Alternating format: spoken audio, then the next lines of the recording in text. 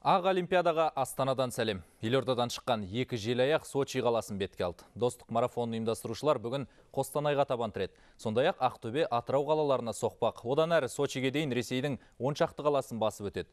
Жалпы ұзындығы 2400 шақырым жолды марафоншылар жаяу кесіп өтуді көздеген. Алайда ауа райының қолайсыздығы кедергі болды. Сондықтан олар елді мекендерге көлікпен келіп, тек қала көшелерімен жүгіруді жөн санапты. Бүгін желаяқтар Қостанайдың халық көп жиналатын жерлермен өтті. Ақ Олимпиадаға жеткізілетін Олимпиада алауы Ақтөбе қаласында дайын тұр дейді марафоншылар. Олар жүрген жерлерінде еліміздің жетістігін насихаттайды. біздің негізгі мақсатымыз ә, саламатты қазақстан ә, бағдарламасы бойынша елбасының қазақстанға 2050 жолдауын қолдау. Сол ең, басты мақсат үлгі болу жастарға. Сол біздің мақсат, басты мақсатымыз. Өзіміздің елді таныту көршілес елдерге достығымызды нығайту. Сол о жақтың да желаяқтармен біз жақсы доспыз.